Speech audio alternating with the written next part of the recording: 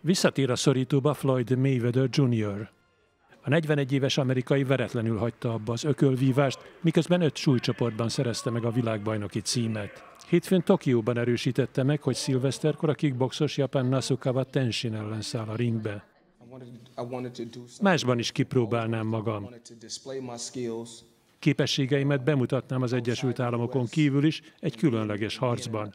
Ezt megbeszéltem a csapatommal, a Rizin szponzorálta az ötletet, így összejön a meccs.